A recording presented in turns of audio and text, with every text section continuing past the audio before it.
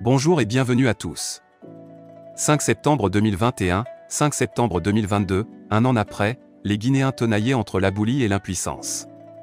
L'ancien président et l'ex-chef des forces spéciales célèbres, ce 5 septembre 2022 est différemment, l'an 1 de la déchéance d'Alpha Condé par le colonel Mamadi Doumbouya.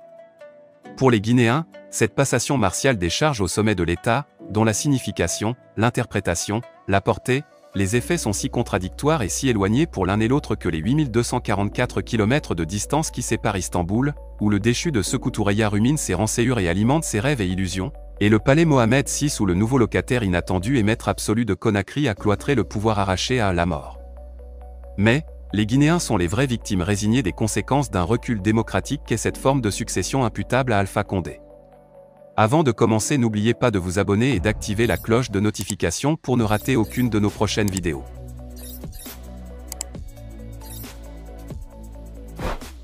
C'est parti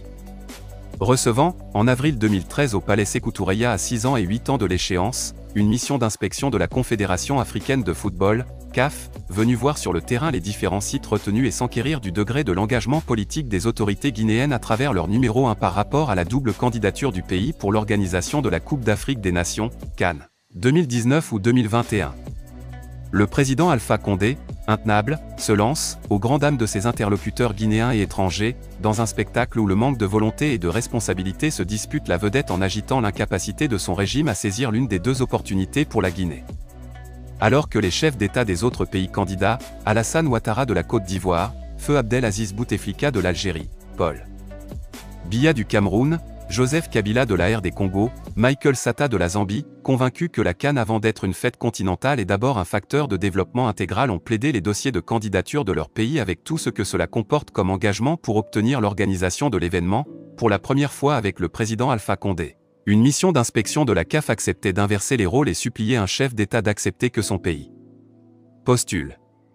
Aussi inédit que cela puisse paraître, mais le chef de mission malien de l'inspection, Amadou Diakité, membre du comité exécutif de la CAF et sa composée de Hadoum Djibrin, Tchad, également membre du comité exécutif de la CAF, Feu Famille Égypte, directeur du tournoi de la Canépole.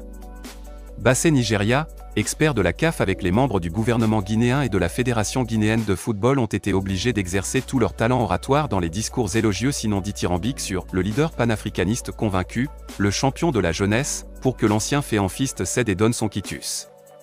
Le jeudi 1er septembre 2022, face à une autre mission d'inspection de la CAF pour le moins dubitatif des capacités de la Guinée à tenir le délai à trois ans de la Cannes 2025, le colonel Mamadi Doumbouya, s'est engagé auprès de l'instance continentale de football afin que la Coupe d'Afrique des Nations attribuée à la Guinée ait lieu comme prévu en 2025. Contrairement au réticent Alpha Condé en 2014 se faisant supplier, le colonel Mamadi Doumbouya, face aux inspecteurs qui ont envisagé la possibilité d'un report à 2026 ou 2027, a été si tranchant, on en a fait une priorité nationale et cette priorité nationale, c'est 2025, et on n'ira pas en 2026 ou en 2027, on l'organisera en 2025 minutes que le chef de mission béninois, Mathurin de Chacus, sceptique face à la théorie du ministre des Sports, Lansana Béa Diallo, s'est montré totalement conquis. Elle nous a parlé en vrai militaire, il est très déterminé à organiser la canne pour les Guinéens. Nous irons rendre compte au président de la CAF, Confédération africaine de football, mais nous sommes réellement rassurés par les dispositions déjà prises par la Guinée. C'est toute la différence entre les deux principaux protagonistes du 5 septembre 2021. La réaction ou l'attitude face à cette question de la Cannes résume le degré d'intérêt sinon de patriotisme de l'un et de l'autre pour la Guinée. Mais, entre le vainqueur et le vaincu de ce coup de force qui a fait basculer à nouveau le destin de la Guinée dans l'inconnu, les Guinéens restent coincés dans l'incertitude. En effet, si la grande majorité de la population a été déçue du règne décennal d'un ancien président démocratiquement élu, légal et légitime au carnet d'adresses riche de plus de 60 ans de combat politique avec presque toutes les personnalités qui font écrire l'histoire contemporaine du monde, mais qui a terriblement manqué d'ambition, de volonté politique pour la Guinée, elle s'interroge sur l'efficacité de la méthode du chef de la junte. À l'image de l'organisation de la Cannes qui est en train d'échapper à la Guinée par le fait de l'immobilisme qu'il a adopté dès les premières heures, de son opposition ferme à la construction du chemin de fer Conakry, Kérouané via Cancan, de son refus d'achever et de rendre opérationnel le don chinois du stade de Nongo, de son peu d'intérêt pour le lancement d'une compagnie aérienne nationale. Il est pratiquement difficile de soutenir que le président Alpha Condé était animé de volition pour la Guinée. Bien entendu, qu'il est loisible et même juste de louer les progrès réalisés dans le domaine de l'électricité avec une capacité de moins de 200 MW en 2010 à un peu de 500 MW aujourd'hui avec la construction du barrage de Caleta Swapiti Amaria et le système d'interconnexion frontalière, l'accroissement des activités minières qui a libéré de milliers d'emplois, la rénovation de quelques édifices publics dans une dizaine de préfectures à l'occasion de la célébration tournante des Fête de l'indépendance nationale, la modernisation de l'hôpital Donka, les voiries urbaines de Conakry et les routes nationales qu'il partage désormais avec son tombeur, et même la construction ou la reprise, bien que ce soit des investissements et capitaux à 100% privés, de six hôtels à Conakry. Mais, on avouera que ce bilan du président Alpha Condé, essentiellement axé sur les chiffres du FMI et les éternels projets, est infiniment peu pour le genre de président que les Guinéens espéraient de l'homme politique qui a fait plusieurs fois le tour du monde avant d'accéder à la magistrature suprême, de l'historique opposant lucide et pertinent dans ses diagnostics et critiques de la gouvernance de la Guinée sous le général Lansana Conté rassurant dans ses promesses, d'un professeur d'université qui n'a pas finalement pu construire une salle de classe, contrairement à l'autodidacte responsable suprême de la révolution qui a doté la Guinée dans les années 60 de la seule digne université publique du pays depuis l'indépendance jusqu'à nos jours. Le 12 octobre 2020, un rapport bilan du président Alpha Condé constatait que seuls 40 sur 315 engagements et promesses issus du programme de gouvernance 2015 à 2020 répartis sur 19 secteurs ont été tenus, soit un taux incroyablement nul de 13%, et 86 promesses et engagements partiellement réalisés soit un autre faible taux de 27%.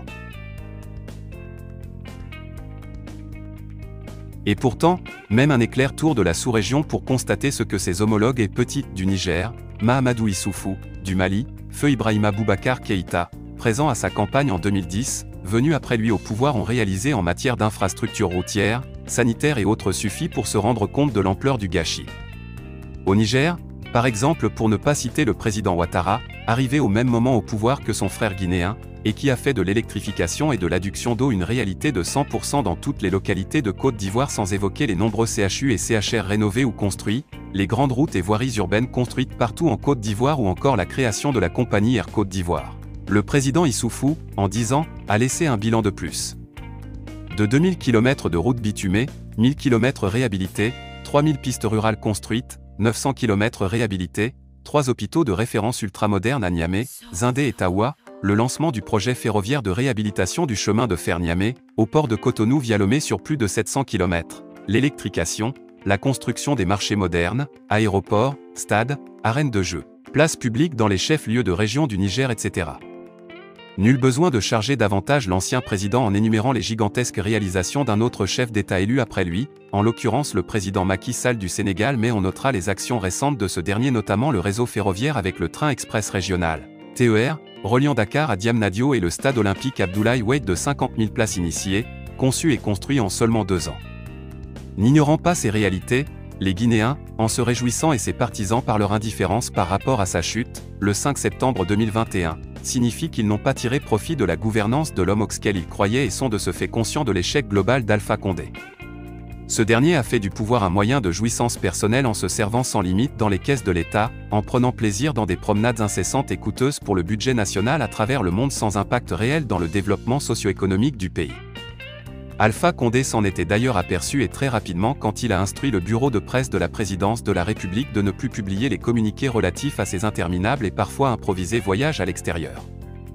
Même durant les moments violents et sanglants des marches et manifestations régulières de la coalition de l'opposition pour la finalisation de la transition durant son premier mandat, le président Alpha Condé n'a jamais quitté l'air, pour prendre un tant soit peu une pause au sol afin de trouver une solution à la crise politique et mettre fin aux violences qui endeuillaient la par rapport à tous ces faits et bien d'autres illustratifs de la mauvaise gouvernance. Le 5 septembre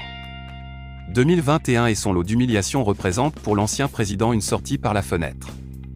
Même si le rêve est permis, il est pratiquement impossible de trouver une majorité regrettant la gouvernance Alpha Condé encore moins souhaitant son retour. Cependant, à travers le dernier article de GIA sous la signature de l'éternel marchand de la plume, François Soudan, Alpha Condé affiche sa vraie nature, prouvant qu'il n'a ni changé ni évolué d'un iota. Chassé le naturel, il revient au galop.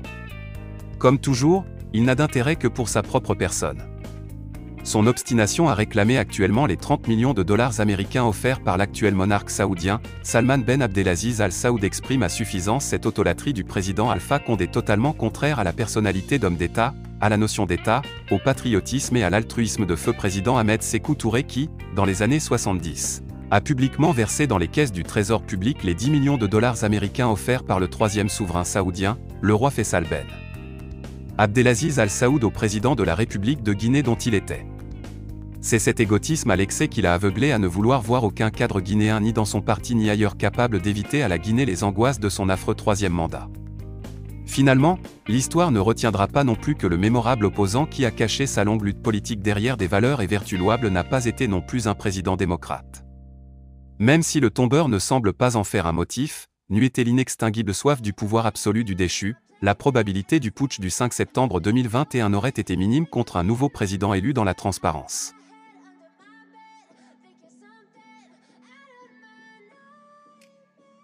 Manifestement, le réfugié d'Istanbul ne semble pas avoir compris la leçon que l'histoire lui a administrée à moindre coût avec son exil doré au moment où ses anciens compagnons et collaborateurs croupissent en prison ou placés en résidence surveillée, privés de liberté, passeport confisqué, interdit de quitter le pays, compte bloqué. Au-delà d'être insensible à l'épreuve que traverse cela qu'il désigne comme seul responsable et coupable des maux et crimes reprochés à son règne, Alpha Condé, avec son nègre de service François Soudan alimenté durant les onze dernières années par l'argent du contribuable guinéen et qui continue de se servir dans l'épargne de l'employeur, se donne le beau rôle, se couvre d'une nouvelle virginité, falsifie un bilan que les Guinéens n'ont nullement ressenti, et profite pour afficher enfin ses vraies intentions. Celle, l'arbre ne peut pas cacher la forêt, celle de revenir aux affaires.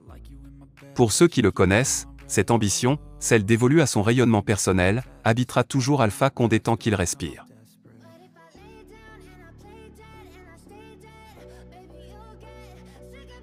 Pour ceux qui en ont douté, il est désormais évident que son truc de comité provisoire, qui a semé la zizanie entre les dirigeants de son parti, était loin d'être sincère. Il ressemblait beaucoup plus à une peau de banane sur laquelle l'ancien Premier ministre, Ibrahima Kassori Fofana a glissé vers Coronti qu'un véritable choix politique porté sur l'ancien président de GPT dissous pour le leadership du parti unifié, le RPG Arc-en-Ciel. Bref, ce leadership, Alpha se le réservera toujours même à l'au-delà. Un an après le départ de son prédécesseur, le colonel Mamadi Doumbouya ne bénéficie pas non plus d'un blanc-seing de la part de ses compatriotes abusés et fatigués des pouvoirs successifs. La qualification internationale des coups d'État et les nombreux défis, face aux lourds passifs socio-économiques hérités, rendent complexes ces marges de manœuvre très réduites et très délicates. Les discours tenus et quelques actes posés depuis mettent en relief sa volonté et son patriotisme. Mais, le véritable challenge pour lui est de ramener la Guinée, saine et sauve, dans le concert des pays normaux car sa détermination, son énergie et même son patriotisme ne suffiront pas à créer le bonheur qu'il semble vouloir pour les Guinéens dans ce nouvel environnement international qui exige que les pouvoirs soient légaux et légitimes pour être efficaces. Après tant d'années de malversation et de gabegie pour reprendre le président du CNRD lui-même, mais aussi de violences politiques meurtrières, il est fondamental de situer les responsabilités des uns et des autres avant de repartir avec de nouvelles bases. En fixant, avec l'approbation du peuple, les critères d'éligibilité applicables à tous les prétendants sans exclusif. Sur ce point, ni le CNRD, ni le FNDC, ni les partis politiques, la société civile encore moins les organisations régionales, africaines et internationales ne peuvent déterminer encore moins choisir à la place des Guinéens eux-mêmes les futurs dirigeants qu'ils veulent à la tête de leur pays, la Guinée.